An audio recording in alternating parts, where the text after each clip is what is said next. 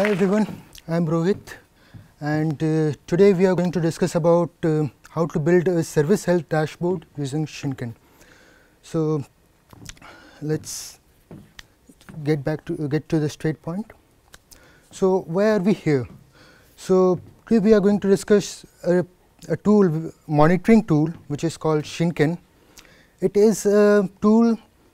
Uh, uh, how many of you, have, of you have heard about something called Nagios? Yeah, that's good. So it's a tool rewritten on in Python. It's it's like uh, mostly compatible with all the Nagios plugins and gives you some more features and it's written in Python. So th these are some of the topics like uh, we are going to discuss about the architecture, how to write uh, NRPE plugin. NRPE is Nagios remote plugin executor which is like uh, for checking the status of anything, any monitoring metrics, uh, you execute this plugin and the result is sent back to the Shinken UI, uh, which displays you the information and alerts you based on some rules. Uh, there are a lot of things. And uh, how to write automated service checks. And over here, I mean service, not uh, system matrices like uh, disk IO or say if a process is running or not. So, we are going to modify, um, we are going to use a server monitoring tool to do service monitoring. Let us get, uh, get to the next slide. So, what is Shinken? Uh, it is like a Nagios rewritten in Python. It is 100 percent compatible with most of the Nagios plugins, has a UI uh, based, based on some API, live status API and it provides you functionality based like uh, alerting you on some specific rules. So, there may be a DevOps team serving a customer, uh, serving a set of customers and there may be some people on call duty like on call. so, it may be like uh, they have three shifts. So, if something some alert uh, comes in the morning, uh, a set of people the person who is in all call may get the email plus respective say call call alerts, SMS alerts and this can be um, configured for respective person on duty. So, if you have I, I, want the talk to be very interactive if you have uh, any doubts please interrupt me otherwise I am assuming that you are getting everything right. So, let us discuss something about the Shinken architecture. So, here it is. Like uh, mm, it is a bunch of modules running as independent services. And they all communicate uh, with each other using some common data store. Like uh, they, uh, they also use MongoDB. And um, yeah all the data most of the data is stored in MongoDB. So, the first thing is like when you are using Shinken you will notice you, you will be mostly using the web UI web interface. This web interface is based on the API which is called live status API. So, if you do not like one version of the web UI you can you can also replace with uh, there there are 3 4 different UI which you can use as per your needs. Can we roll our own? Sorry?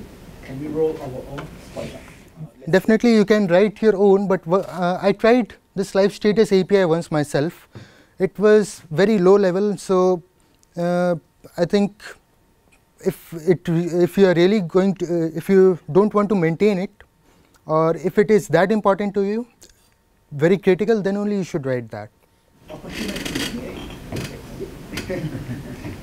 so uh, then comes like the arbiter so arbiter um, when you are configuring all your uh, the Shinken as per your needs, like the servers, the services, and uh, maybe interdependency, uh, the contacts, plus how what command should it trigger. It verifies all the Shinken configurations and uh, loads it into the memory, and it will uh, it the arbiter will fail to uh, fail if you if any of your configuration is invalid like it it validates all your configuration and then it uh, configures other parts of the Shinken like scheduler and reactioner how they should uh, it configures the other modules of Shinken so that they can act on their own. Uh, is it clear? Yeah. So, the next thing is scheduler. Schedule, scheduler the is the component which schedules all your checks.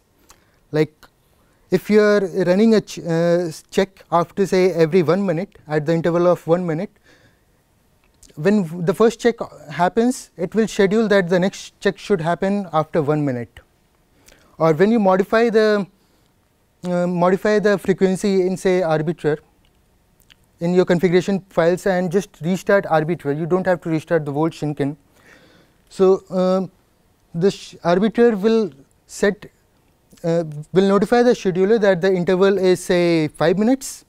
So, once the next check happens, it will uh, it will uh, schedule the next check to happen after 5 minutes instead of the next minute. Okay.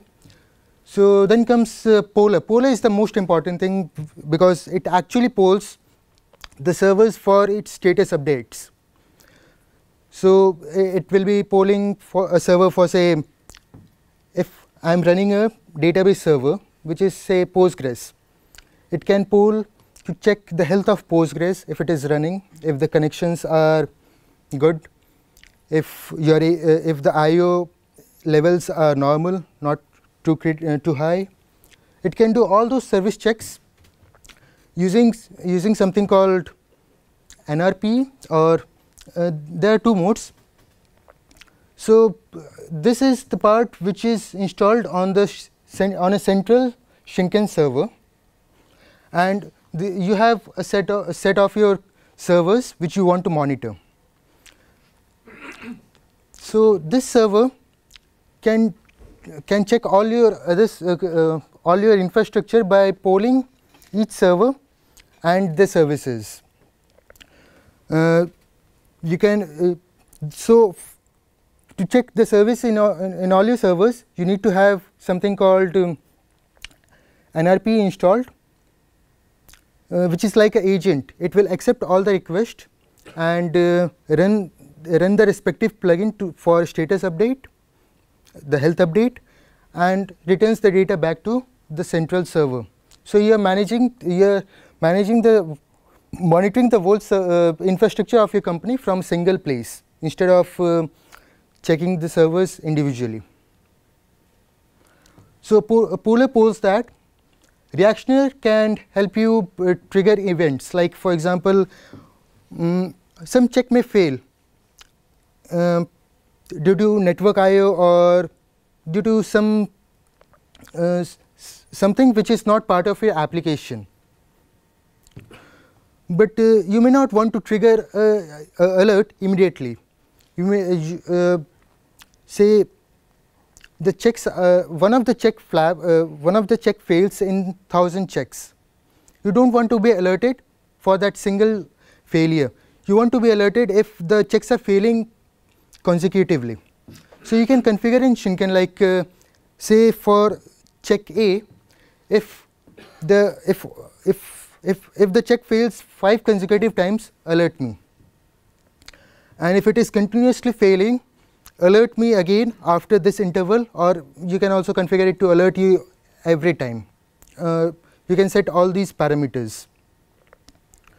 So, reactioner, reactioner does the all the alerting job plus you can also configure Shinken to recover automatically by using some events. Say a process crashes in one of your server and you want to you want auto restart to be enabled using Shinken. Shinken can have something called as event handler, which can which will be again a NRPE call to your server and uh, you can restart the service accordingly. Uh, you have any uh, doubts? How do you how do you test that your Shinken system actually works about bringing down server? Yeah, you can actually stop some of your services and Shinken will automatically restart the service if you have configured auto restart. Uh, you can also have something like, uh, uh, well, this is not provided inbuilt. Like um, if you want all to capture all the events, you can write the command in such a way that it emails you or notifies you in some way Okay. that it uh, this event was triggered and definitely you can always check the logs but that will be like dig into a lot of things Right. right and brokers are like a layer to access all your data all the data store of Shinken so over here the main part is poller. So if if you're mana managing say five servers for your company or for your needs uh, a single Shinken server is good enough. But if you want to manage say 10000 servers uh, you need to you, you need to scale your Shinken server. That is, you cannot just add more RAM, more more computing power to a single box. You you can actually distribute Shinken into multiple servers to do horizontal scaling, and Pollers will be the uh, will be the right thing, uh, right thing to be. Uh, can be distributed into multiple servers so that like uh, server A, B, C, if they are just polling your, your servers for status updates and it can send to say one of the master server which has the UI and these ABC can just keep on polling and schedulers will automatically schedule all the checks and divide it in, in all your all, all your pollers. Is that clear? So you okay? So for more servers, it's better to have a master master server and a few of the slave something slave to actually handle the uh, monitoring itself. Yeah. So slave will actually do the checks Okay, then they send it back to the master. and send to the master and master has all the data like um the database and um, the web UI. Okay. So you are actually dividing uh, the load from master into multiple server. Pollers consume the most of the uh, most of the resources because every check which you poll is a- is actually a system call and in and creates a new process and this runs for a uh, for a while and sends back the result to Shinken scheduler which again uh, remaps But the Nagios did that as well. So far, Nagios is pretty cool when we handle. Okay, we have. Okay, we don't have thousand servers. We have hundreds. yeah But it doesn't. It. Yeah, it doesn't have any performance issue at all. I mean, that's our observation. But then 200 is not exactly 1000, so. Yeah, Nagios is written in C. C. Uh, it will have uh, more capacity um, to run to do more checks in uh, in a single server. But this is written in Python, so it it is slower than Nagios. Okay. But again, it uh, provides. It is like uh, Nagios was written way back, Okay. and this is like a, a kind of uh, restructured, and it has some more features. Or so you, you uh, it and it is also in under active development. Oh, okay. Cool. So uh, that's the reason we uh, we tried out a new technology. Okay. So uh, we already discussed uh, NRPE, but what is NRPE plugins? NRPE is uh, NRPE plugins can it can be just said in simple words a script. A script which does a simple check and returns you the status. For example, if you want to uh, do a simple ping check to uh, check the network availability of your server, you can just run the ping command and get the result back. So, uh, it also has a very large community like uh, you, you can get for server monitoring at least you can get almost uh, everything you require uh, to monitor the services and uh, the servers. For so, for example, check ping can just uh, ping your server with say two or three whatever packets you have configured and return you the result. And uh, it can say this is this was the latency this was uh, if if the packet was uh, lost it will raise a critical alert and do all those things. So it's basically a single script or it can be a bunch of scripts but it's better to have just a single script. So how to write your own nrpe plugin so the script has a simple funder. if the exit status of the script is 0 the, uh, the check succeeded. If it is 1, the check succeeded with some few warnings. Like for example, if you are if if you want to check if uh, my uh, if you are doing a simple ping check for example and the latency is say more than 1 second. You may it may not be critical but you want to raise a warning that the latency has increased. And if it is more than say 5 seconds you just uh, say critical alert something has to, needs to be changed. And if it is less than 1 second you say all good. Nothing uh, it's our infrastructure is good. So basically you need to define these three exit le levels. And anything uh, which is any other value like 3 4 100 255 whatever be the exit status everything else is considered as unknown unknown status. Like for some uh, like if some exception occurs the exit, exit status may be 1 normally so it will raise a warning. If it is uh, if some of the shell script crashes if some command in the shell script crashes and it has a exit status of say 55 Shinken will show that as unknown in in its UI Okay. So, can, can, sorry, can can you uh, say define these unknown uh, uh, numbers to to reflect a certain error status in Shinken? Few commands in Shinken have like a few NRPE plugins have the option of saying if the exit status in is unknown, don't display it as unknown, make it critical. Right. So it falls under a, a, a bin that says critical. Under a yeah. that says critical. Yeah. So for example, uh, ping check or the command, uh, the actual command is say I think check ping, check underscore ping. It has an option called minus u as far as I remember. If we are passing that as uh, as parameter, it and the server is not reachable, it will say unknown.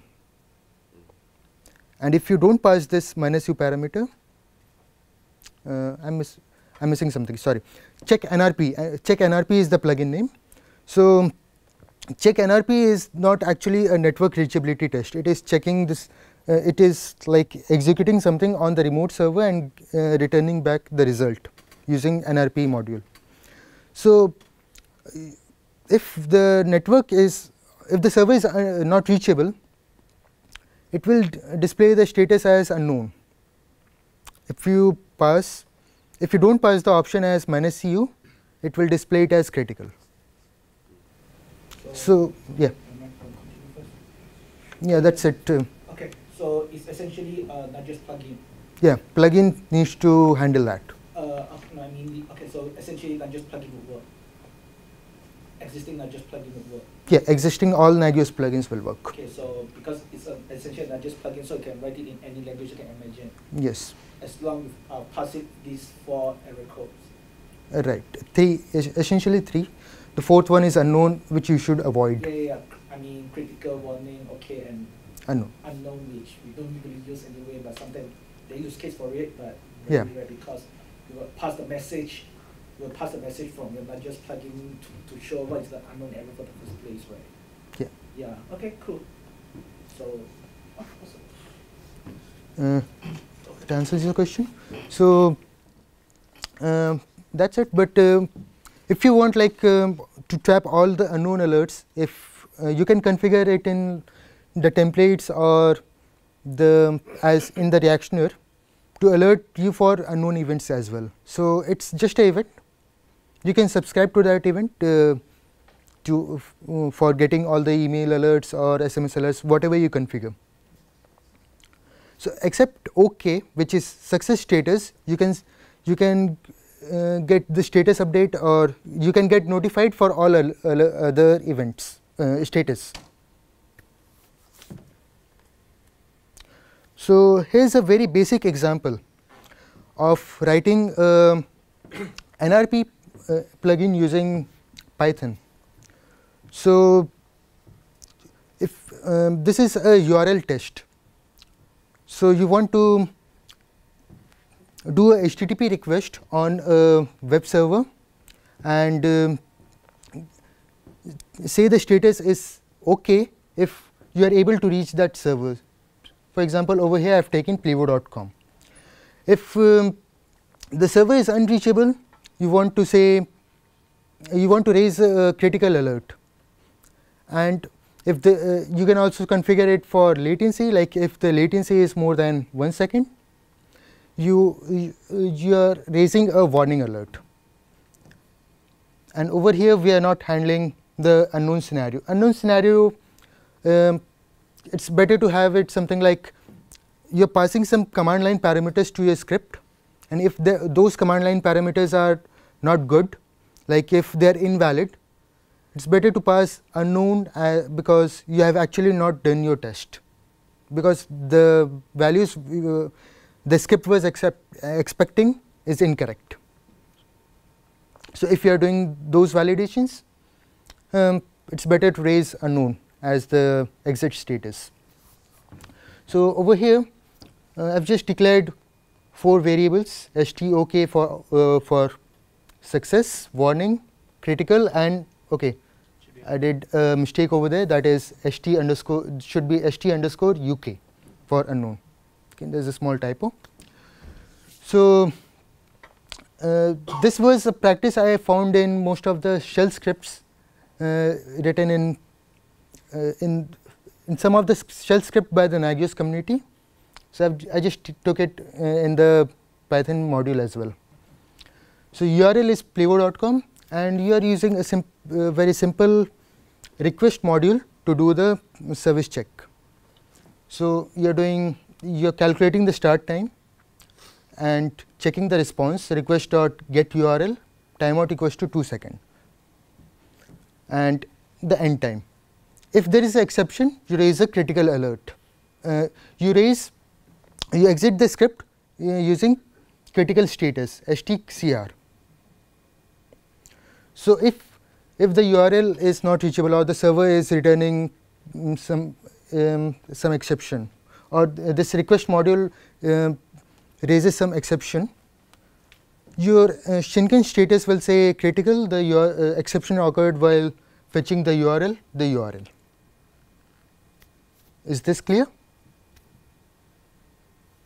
Cool. Now, Second thing is like latency. You want to you may want to check latency. If it is more than uh, say one second, okay. First is uh, status code. Uh, the server may be responding, but it may have say 404 or 500 errors. So you may want to check if the status code returned is in the 200 range, 200, 201, 202 as per your website or the API call, this can differ. I have just taken a general area of area in the 200 mark, uh, 200 values. So, if it is not in that range, you are saying the status code is invalid or critical status code found is this for the URL I have tested this one. So, this one more point to remember that all the Shinken uh, return values should should be of one line because the UI is uh, UI can get very cluttered if you are passing more than one one line. They have a restriction that all the check values uh, they will all, they they will only display the last line or just one line. And it should be a sys dot exit every time you need to exit something, right? I'm sorry. I mean, you should always sys dot exit to uh, when you want to pass something out when the program ends or whatnot. Yeah, Like you can. So basically, it will invoke uh, yeah. um, spawn a new process and run it uh, with the Python No, no, interpreter. what I mean is your script should always sys dot exit when you exit your code to return the code for. Well, exactly like um, it may depend on your check. Yeah, yeah, but you should you still need to Yeah. exit. Yeah, you need to exit using syslog, Exit. sys.exit. Yeah, to return. Okay. Yeah, but uh, th- writing this sys.exit may not be suitable for you always. Okay. For example, like um, if you're if if the check which you are writing requires some lock, Okay. say uh, parallel execution of this script two times may result in failure of the script. So, you may want to have a locking mechanism in the script and in that case uh, you may want to remove remove a log file or do some cleanup before uh, before saying this uh, before returning the result of this script. So, writing uh, say remove the temporary file or remove uh, clear the lock in whatever fashion you have implemented every time is not a good idea. So, you will be like it's it's better to have a function in which you are, you are passing the message to be to be printed with the exit status and whatever cleanup you want to do or tear down you want to do do it over here over there. And just you just call that function over here. Okay. So things to consider like uh, do not reinvent, reinvent the wheel. So for example the uh, the the nrpe plugin which i showed you is like reinventing the wheel. There are always uh, the, this is a very basic check. You, i think the you can get a nrpe plugin called check http which can do the same job.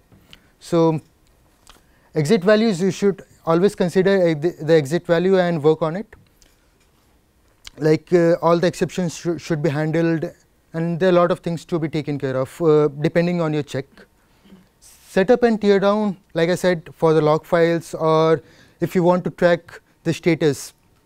Say if it is a long running task you may want the script to return um, return the value from the for the last check and uh, execute the current check in background. Or uh, initiate the check in some server or whatever you want to do there can be some setup and tear down phase so it's better to have uh, to consider those as well otherwise the nrpe uh, may uh, check may time out and it will show as unknown in your uh, Shinken web server. Logs, again I said like some if your if your check is uh, requires to run independently, it should have a lock. Exceptions you should always handle, logging you should always do, and be verbose, but you have a single line. Like for example, you you could have just said exception occurred, uh, well for this check, but it's better to have like some more details like the URL you're checking or uh, uh, what was the exception. Uh, because uh, this is if if you're a service platform or if you if you have a platform these checks will come handy. The uh, the return codes of, of these checks will come handy while debugging the a real time issue and you can graph everything using RRT RRD tool. Um, uh, uh, the graph graphite is a good example for graphing all your all your d- uh, values. But if you are writing your own Shinken checks it it also needs to uh, the exit status or the the message you are returning should also have those matrices. The uh, there's a pipe operator after which you can define the matrices like this was the latency for example. Um, integrate your plugins. So there uh, as i said it's basically do running a script.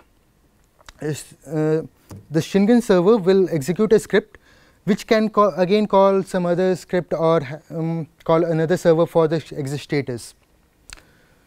So, uh, a typical installation may have user local S Shinken etc as the configuration dir.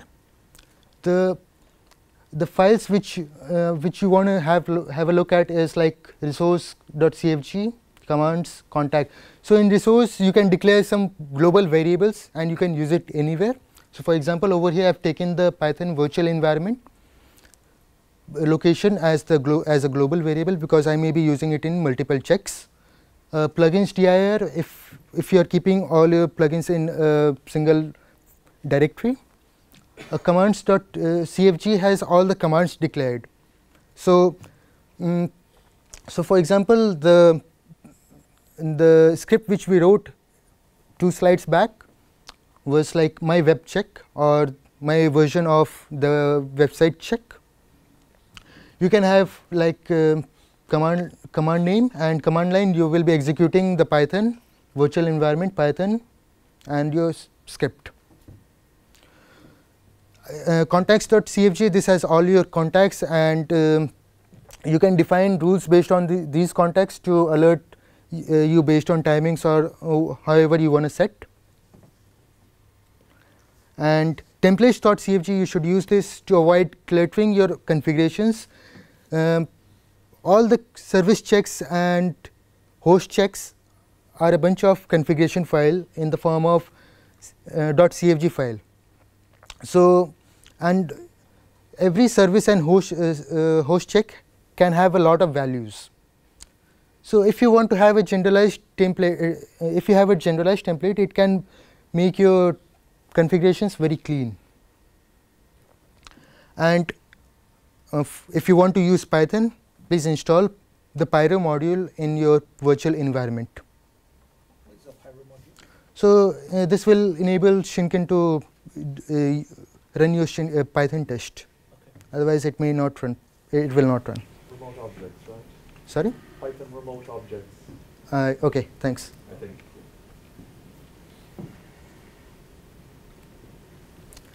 Uh, again, some good uh, practices. So, for example, uh, the script which we wrote uh, three slides back or something can be implementation of a website called Pingdom, if you have heard about it, it does uh, it does check if your web server is running. So you can, if you want to bring that in house, uh, it is like a service. The web hosting is a service. You, uh, Plivo as a platform has different services like SMS, calls, conferences, IVR, there are lot of things uh, you can automate these these services as well in your Shinken script and monitor if your services are up from the user point of view, users users perspective. Some of the things like um, uh, some of the good practices which uh, we have noticed is like don't try to uh, uh, plug in just for the success scenario. It uh, may work fine in initially, but when things go wrong, uh, you you will have no clue of what went wrong or the service check may say timeout or it may say still say okay. So, you need to be careful about um, the failure scenarios more than the success scenario. Again like the check should be automatic like for example, for writing a check to test call it may uh, say inbound call you want to receive a call and check if you are you were able to receive a call. So, for this case you need uh, the call needs to originate from, from somewhere as well right. So, if your check is dependent on the outbound call to receive an inbound call you should not uh, use the same platform to originate uh, to initiate the outbound call. So, if outbound call fails your inbound check will also fail. So, the check should be atomic, it should not depend on other checks or it should have minimum, uh, it should be very simple. Third is like avoid mutual dependency which I already told you. Stats collection you can al you can always have uh, uh, Graphite for logging your stats and uh, if you want something uh, more suitable for you if, if Graphite doesn't work for you, you can store all the data in some form of data store like Redis or database whatever you want to you know, for all your custom checks and avoid mini hops like uh, for example the uh, the the website check which we did can log into a server using NRPE and do a ch service check to that URL. Instead of using this uh, three uh, two hop operation, you can directly call from the Shinken itself, from the Shinken main server, master server, or one of the poller. So uh, you should always uh, you should avoid hops. And tricky for long running test is because like um, uh, like for example you want to test recording uh, until unless you have recorded the uh, a call for a considerable amount of time say say 5 minutes you are not sure if recordings are working properly. Know and so uh, it can be a bit tricky that you may have to run all your tasks in a, a synchronous fashion. Shin, all the Shinken tests are synch synchronous. So you need to re-architect uh, your design for writing those tests. It may have some more dependency like a server or, or a data store. So it can be a bit tricky and be, be, be verbose, but you have just one line. When you say one line, you mean character limit or you just mean? I just mean one line. Character, uh, this, uh, I have not seen any character limit as long as lines like, just don't put a break. Sorry?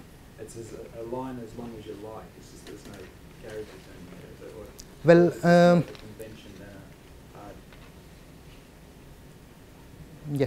Will, will it cut on the cut the line off at some point, or is it just so long that you can't you can't see it? Yeah, properly? Once that I get to 256 characters, it's just going to lock it because that's the log will only go so far. I mean, most logs are only going to go to so many characters wide because it's pointless having an endless scroll to the right. Well, I have seen a, a long line which can be like something around 500 characters or something, I do not remember exactly.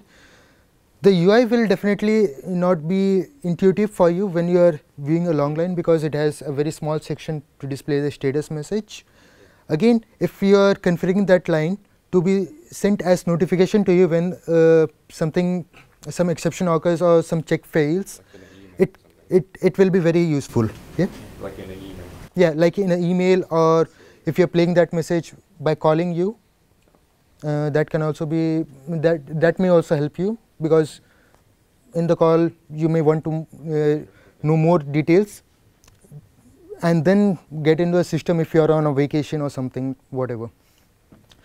But uh, frankly speaking, I have not uh, dealt with a very high line, a, a very large number of characters in a line. So um, that is still untested. Just for it. You can't format it. It's just here is a block of text.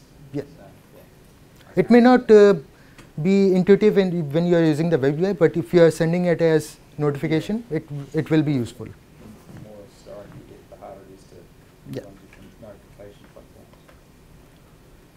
So basically, mm, this is the last last slide.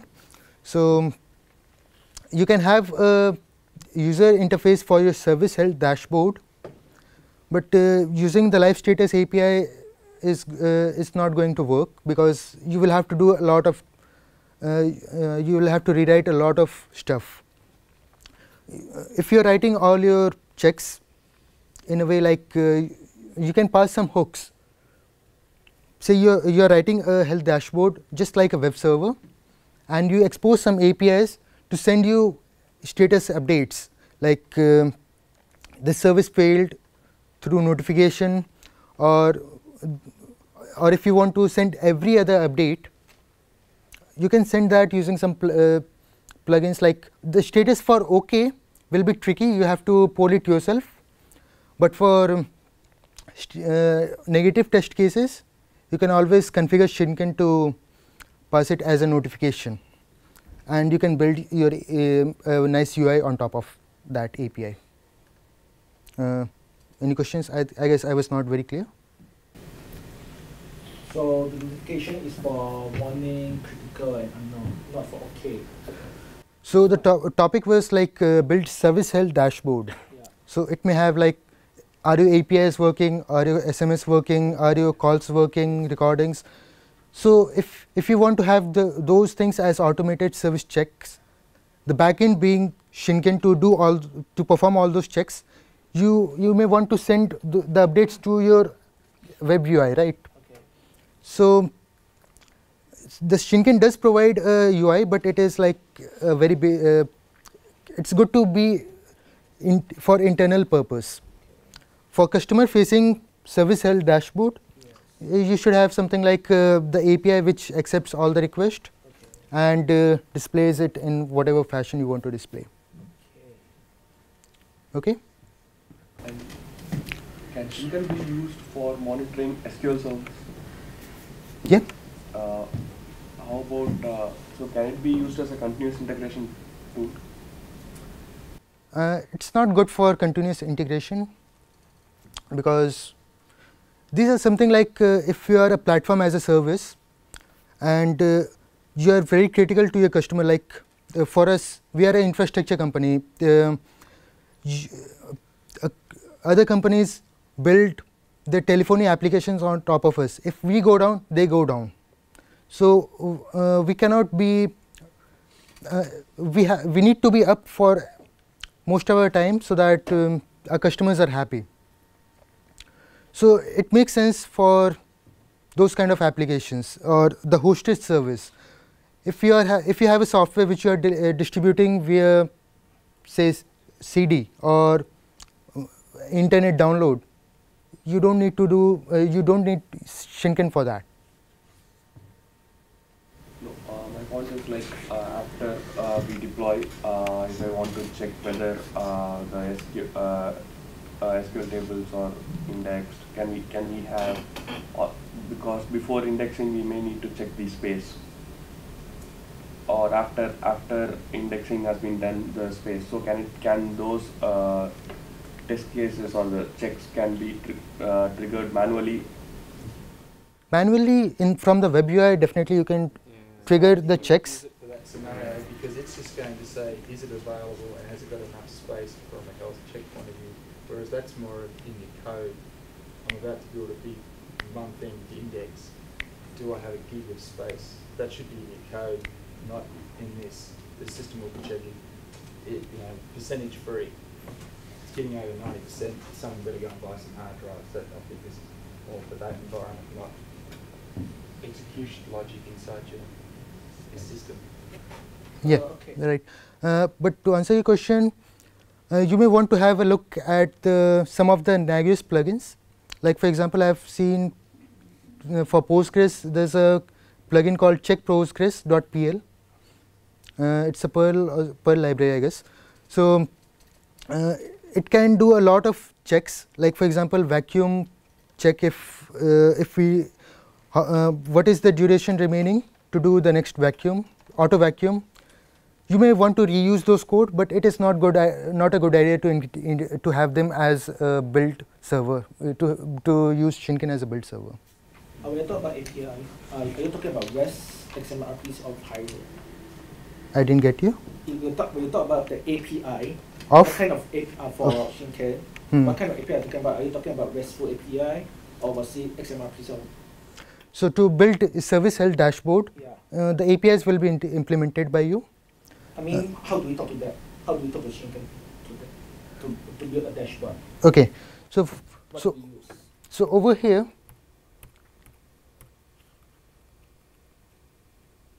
yeah. So all all service checks are basically commands. No, no, I'm not talking about the check because the check is essentially is a Nagios command. I understand that. Yeah, I'm t- I'm talking about the notification. Okay. So a notification is also a command. Okay. So if you have a notification command over here, which executes some of your custom plugin, Yeah. the custom plugin may accept the status of the check Okay. and it may accept uh, uh, the message, the exit status, whatever you want want, want to pass it as uh, pass it to the to your API. And this check can can actually do um, RESTful API. Uh, this check uh, this check can be uh, post to your REST, RESTful API. Okay, uh, okay, let me clarify the question. Yeah. Uh, so all this, I'm, I'm not, I don't really care about this chat, I ju- because just I talk about an API to uh, get the status on your Shinken for you to build a status dashboard, dashboard. How do the, your own uh, dashboard talk to Shinken to get the statuses? What kind of API do they use to talk to Shinken to get the status? There's no API. You can use So basically, what, what is the API Shinken exposes to? Yeah, because The- we're talking about uh, API-based user interface. Right. So what API do they, you're talking about? Are you talking about REST or what not? What? So, I am talking about you need to build your own API to post status update to your dashboard. Uh, Shinken does provide live status API. If uh, you really want to do that, uh, you can definitely uh, you can get all the service health, health from the live status API, uh, using which the dashboard was built. Uh, it's kind of low level, but if you if you are able to use that, it's good. You can poll Shinken for the status update from your dashboard, and the second way is like pushing to the service health dashboard for all the service status. That is the second way. Okay, so what is that? Is that a REST or is that a? You need you can define it yourself. So all those uh, all the API calls ha- uh, will be uh, will be done from your custom NRPE plugin. I think it's just Which is like- for Nagios. Okay, so so we're talking about Nagios again now. It's not really like Shinken itself, the front end for Shinken providing an API. Like, Right. So okay. and again this was like a, this is built for a service a server monitoring tool, Okay. and we have tried to use it for service monitoring. Okay. The use case is different. Okay. Okay, uh, last question. We only have time for one more question. No more questions? Okay. Uh, Good. Hey, thank you very much, Rohit. Thank you. This is a Thank token you. of appreciation. Thank Thank you you. very much.